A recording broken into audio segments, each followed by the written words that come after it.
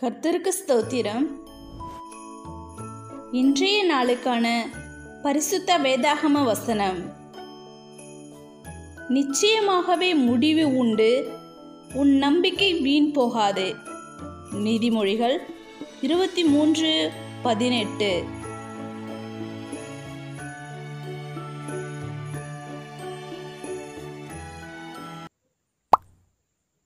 அல்லேலுயா.